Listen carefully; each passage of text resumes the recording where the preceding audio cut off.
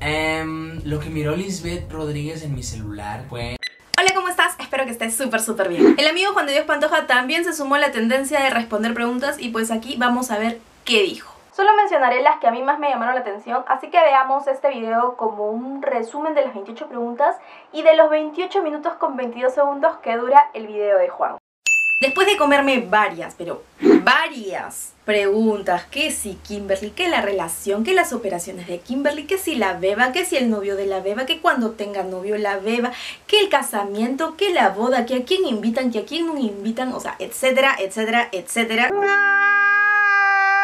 Por fin llegamos a algunas preguntas que me llamaron la atención. Lo primero que menciona Juan es que jamás ha traicionado a nadie por interés.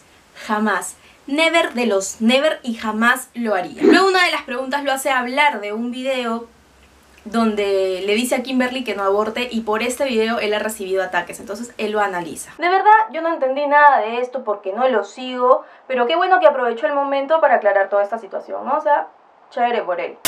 Unos momentos después... Ya está, amigos, volvimos, sí, no pude, me tuve que ir a enterar sobre el chisme y hace dos meses Kimberly subió un video que era un video de una broma que le hizo a Juan donde le decía que estaba embarazada y que quería abortar. Entonces Juan, su reacción fue que estaba loca, que cómo iba a abortar, que comenzó a decirle que no, o sea, que estaba loca si es que pensaba en abortar. Entonces por este video Juan recibió hate, que la gente le decía que era un machista, que cómo iba él a tomar decisiones sobre el cuerpo de Kimberly, etcétera, etcétera, etcétera.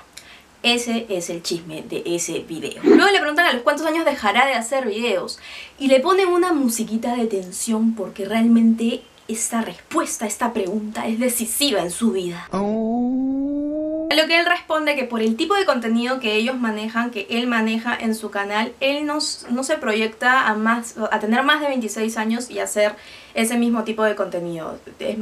No, dice que se vería como un chaborruco, esa es la palabra que utiliza, un chaborruco. Y también plantea la posibilidad de reinventar su contenido, pero en realidad él no lo ve así. Él prefiere irse de la plataforma con la frente en alto y sin verse como un chaborruco. Vale aclarar que cuando yo vi este video fui a sus Insta Stories para ver qué decía sobre todo este tema porque era obvio que iba a comentar algo sobre el video y bueno, lo que dijo es que todavía le quedaban un par de añitos más haciendo contenido, así que que no se escandalicen todas las pantojitas que iban a seguir teniendo Juan de Dios Pantoja por un par de años más.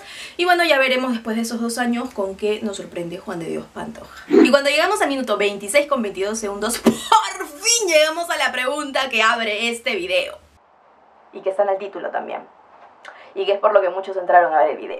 ¿Qué carajos miró Lisbeth Rodríguez en el celular de Juan de Dios Pantoja? Para los que no saben, en diciembre Lisbeth Rodríguez, la que conduce Exponiendo Infieles, sacó un video respondiendo preguntas por todo el tema que sucedió con Badabun en diciembre, ¿no? Bueno, y entre las preguntas mencionó a Juan de Dios Pantoja, y esto fue lo que dijo. Yo revisé el celular de Juan de Dios Pantoja, así que lo conozco todo. Es lo único que voy a decir. Entonces toda la gente quedó como que, what the fuck? ¿Qué pudo haber visto Lisbeth Rodríguez en el celular de Juan de Dios Pantoja? Y pues él dice que vio...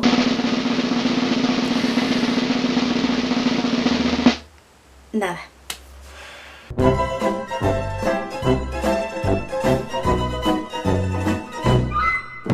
Exacto. Me comí todo el video, los 28 minutos con 22 segundos y Lisbeth no vio nada. Nada de nada.